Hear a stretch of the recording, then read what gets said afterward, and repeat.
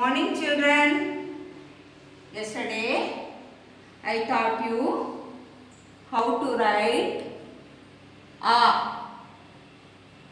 A से अनार A से अनार Today I am going to teach you how to write A.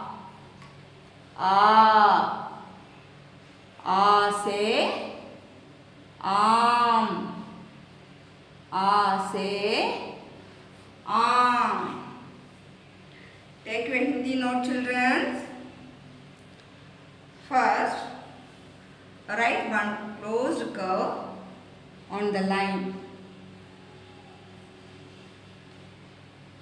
And then join another closed curve.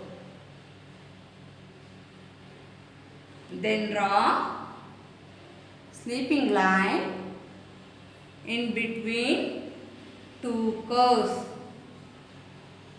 Then draw one standing line. The standing line should touch sleeping line.